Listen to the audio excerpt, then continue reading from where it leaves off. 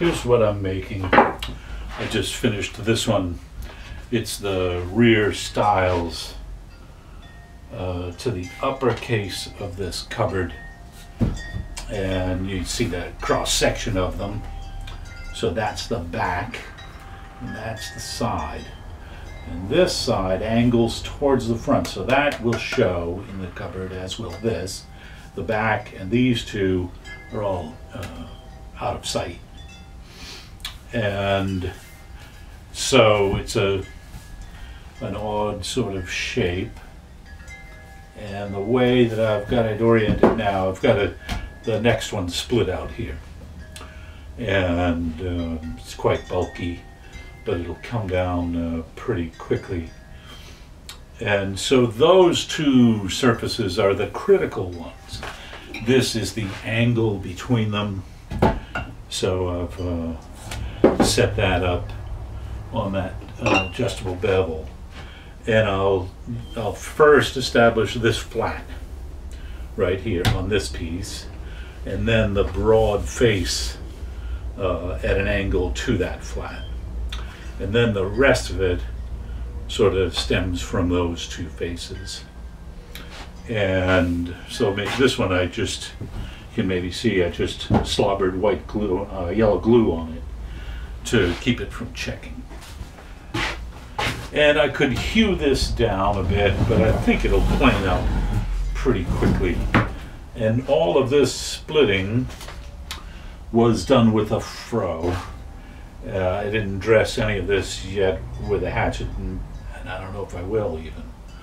But it was terribly windy out again, and I've made too many wind-blown videos. So I decided to skip that part, just bring it in the shop at this point.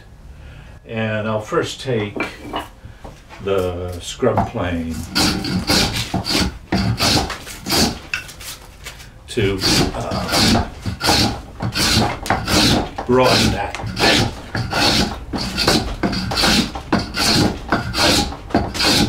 This one's to end up uh, inch and three quarters to inch and seven eighths wide.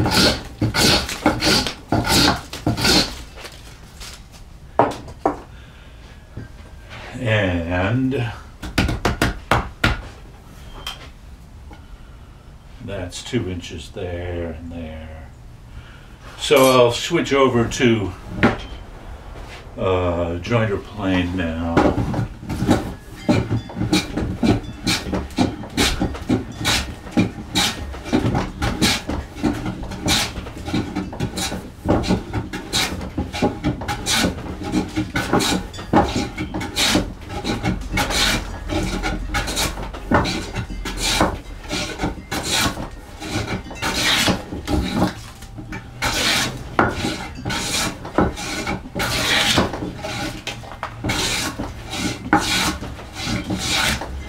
little tear out down there and down here. Um, shouldn't matter too much.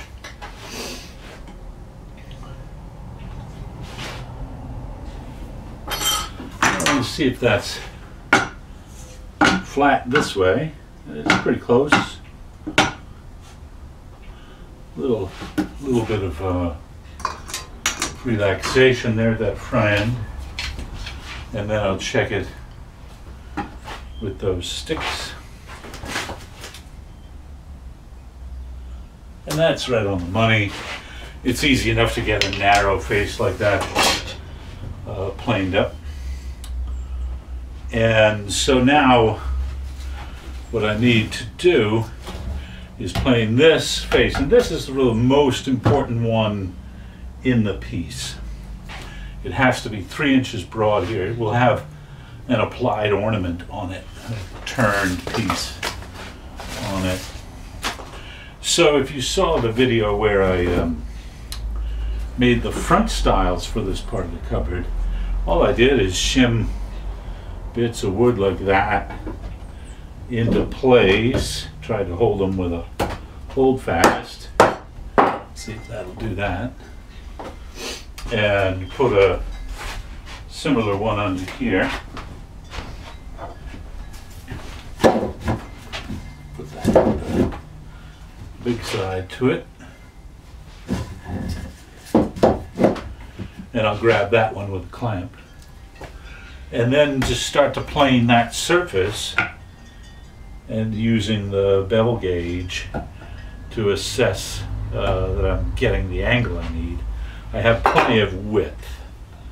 I need three inches and have three and a half, which is good. Uh, The last one was real close. And, um,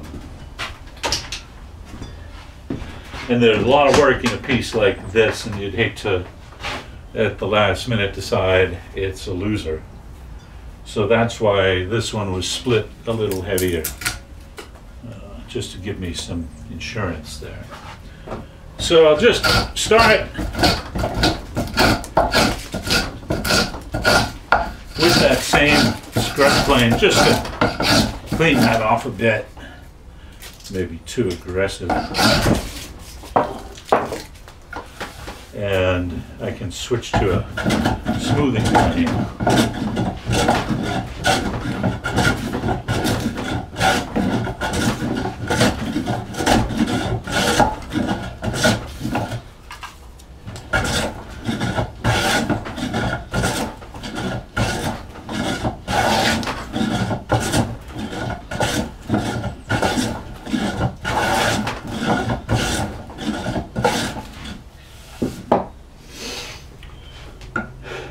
And so now begins the game of checking this with the adjustable bevel.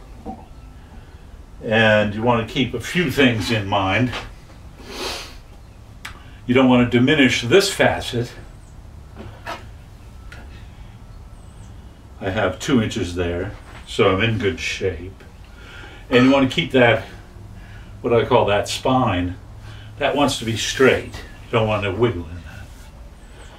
Um, to clean that up a little.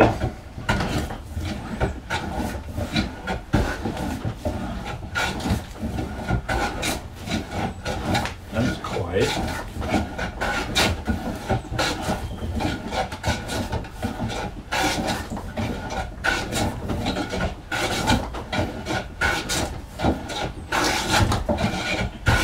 Yeah, start to get some progress.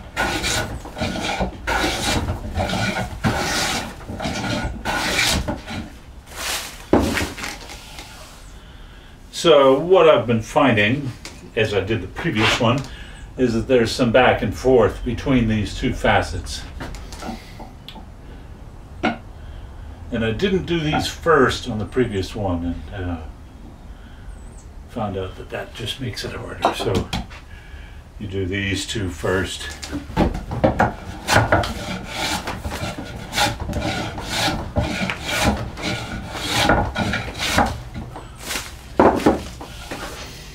Hmm. That's surprisingly good. I thought it would take more work than that. But I'm almost gonna buy that, I guess. Um, it's a little vague, that spine is a little vague right here. And that's due to the tear out I was getting going both directions on this. Um, so I, this was flipped around and I was planing that way, so this one, I should be able, let me see if I'm reading that right. Nope. This one?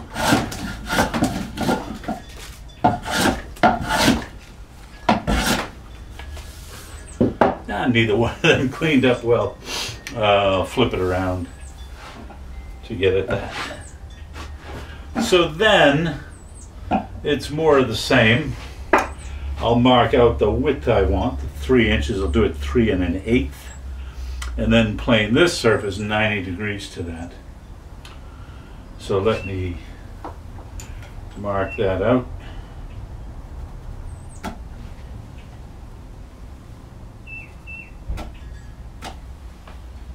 And the three and an eighth is giving me a little bit of um,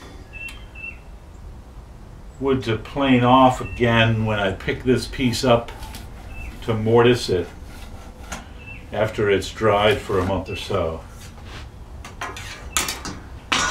At that point, it won't be dry, but it'll be drier. So from there, if I can get this where I can see it and the camera can see it, I can mark that surface like that. So there's a lot of wood to come off there, and that will become hatchet work. And then this way.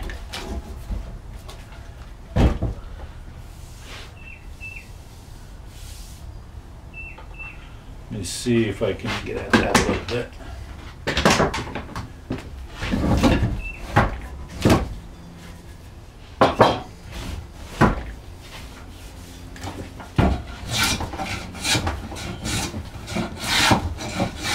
That's cleaner.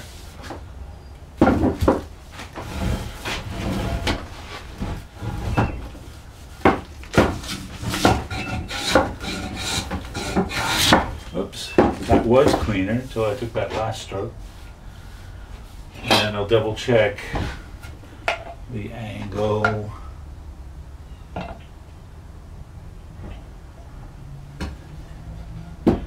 That's all right. One thing I need to do to make sure that hasn't changed. It hasn't enough.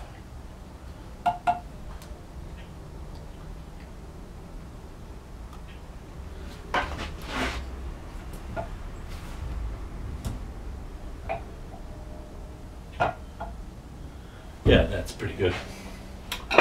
So now I'll mark this dimension.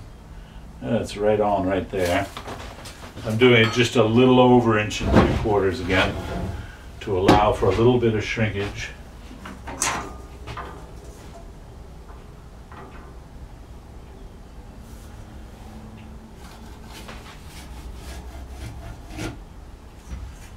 Now,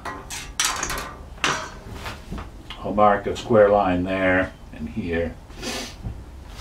And, uh, and from that, I'll go to the hatchet and trim it a little with the hatchet and then come back and finish planing it. So now I've got the hewn piece.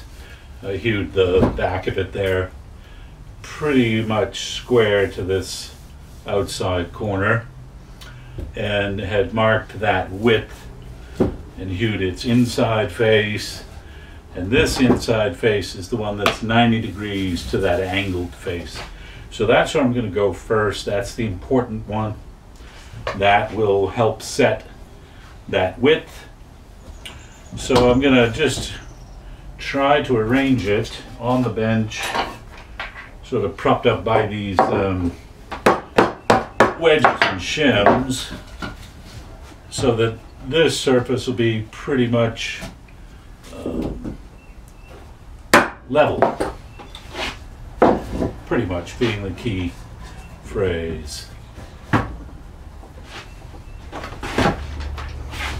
There's always some Mickey Mousing around a bit. Um, as I, I think about this, now this is the second one of these I've done today, and when it's finished, I'll be done with them for who knows how long, another 20 years before I make another one. But the shop that uh, made the original cupboard I'm basing this on, uh, we know of at least 12 or 13 of these cupboards from this shop. So they had a chance to go through this process pretty frequently. Can't imagine that the ones that survive are all the ones they made. They made about mostly in the 1680s.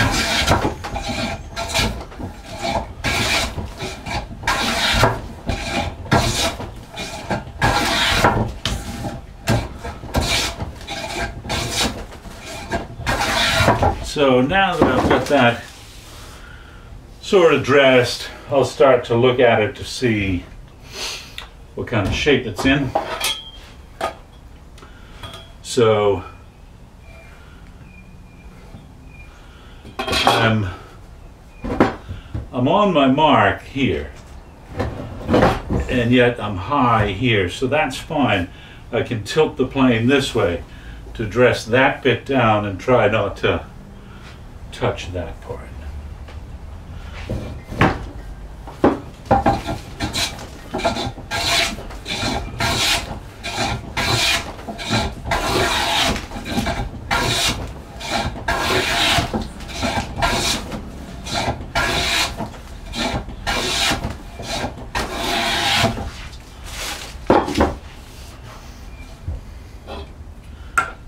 Oh, a lot better. I'll call it good enough. Now, this is the back, and so it needs to be 90 degrees to this face right here, and then a consistent width that way. So first I'll I'll work it. Uh, so the split and hewn face is a little bit high to my right. And I want to adjust the shim. That one won't do it. Maybe I'll switch them.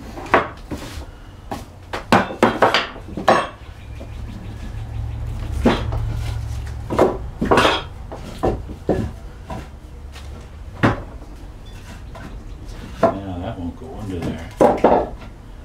What if I do that? Do that. Well, let's try it like this.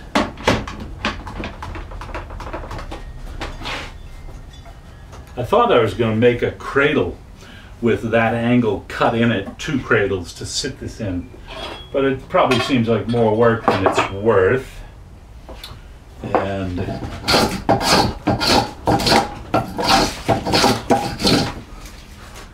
that's ridiculously thick shaving there. Oh my. Start all over.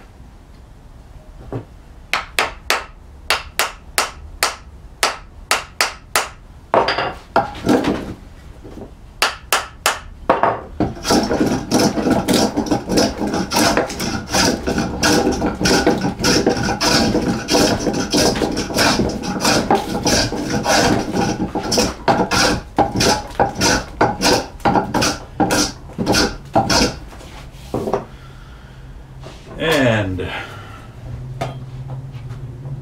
oh, still way high on my.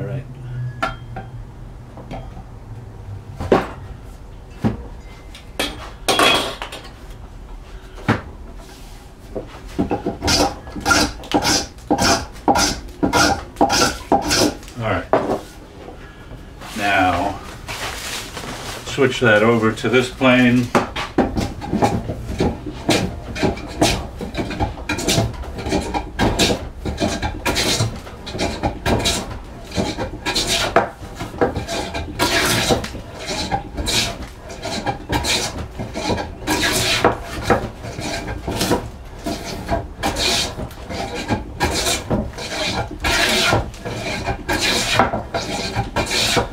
Thing that's unusual about this piece, one thing that's unusual about it, is to have that broad a surface in the growth ring plane.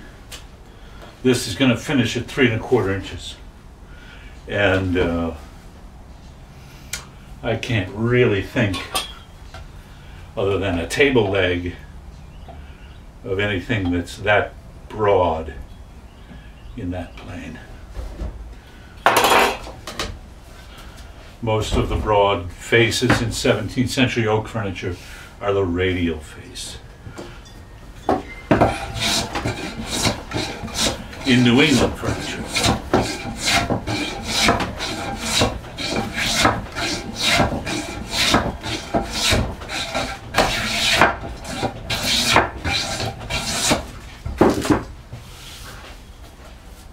And I'm seeing why. I mean, I'm just tearing it up here and there depending on how it's going.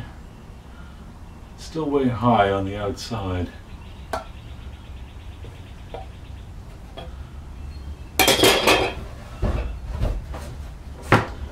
And I've lost my, uh, because I flipped it around.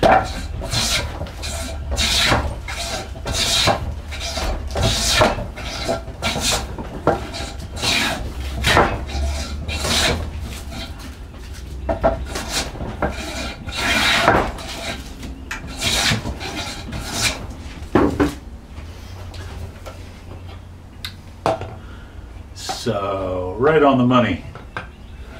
And up here, I'm sure it's still out. But I'm tearing up, so I'm going to flip that around.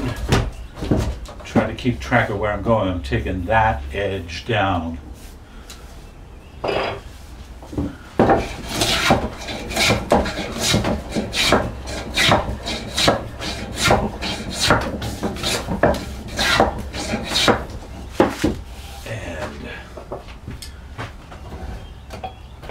And because it's the back, that tear out doesn't matter. And that's okay. So now I'll remark that width. And then plane this face, which is the last one and the least critical. So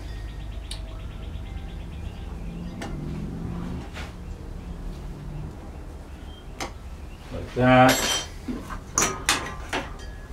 I could have used a marking gauge here, I guess. Uh, most of this you can't, but that's one face where I could have and didn't.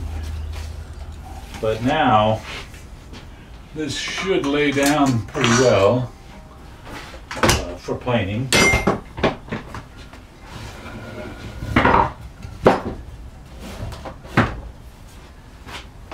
Right like that.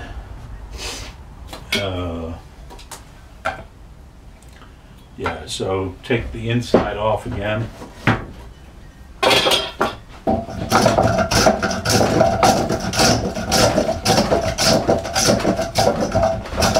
This is feast or famine today.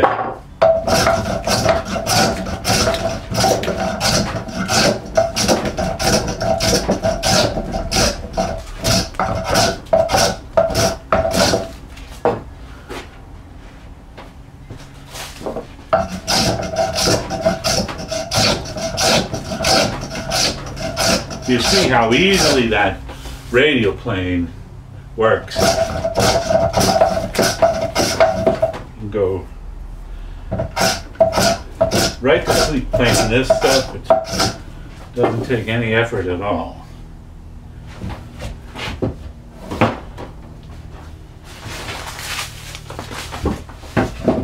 And I think I'm gonna, this plane might be set a little heavier than the other one.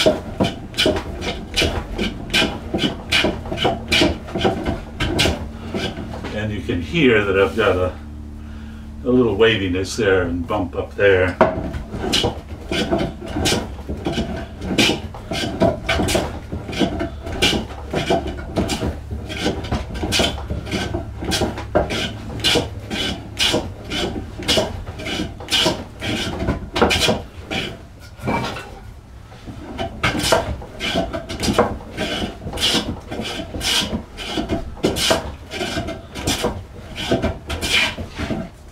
Ah.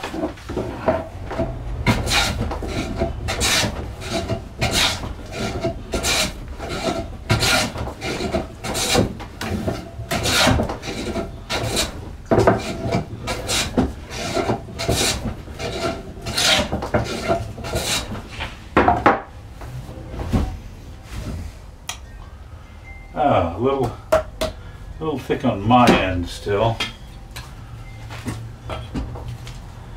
Oh, and way out of whack. Oh, way out. But in a good way, easy to fix way.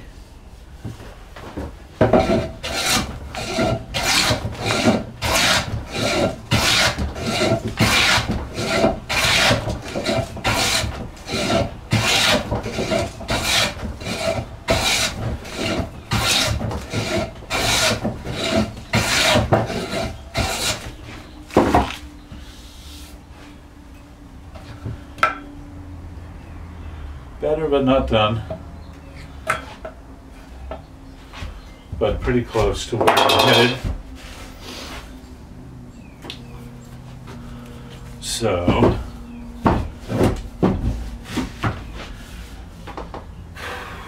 This side's tearing up a bit.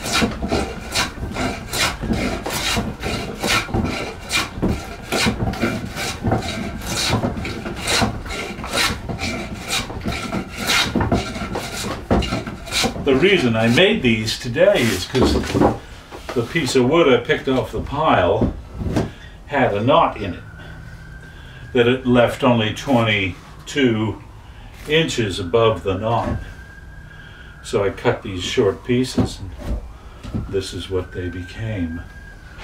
And that distortion is based, is a, a result of some of that uh, uh, twisted grain resulting from the knot. So that's close enough for now. And um, I'll get a fresh cut on each end and then um, write the date on it and uh, and seal the ends with some yellow glue to keep them from checking. Same story I've been telling on all these planing videos. But that's uh, the name of the game. So you next time you'll see these in a month or more, I'll be chopping mortises in them. And then, who knows, maybe there will be a cradle to hold them because they'll have to be up here to chop the mortises. We'll see.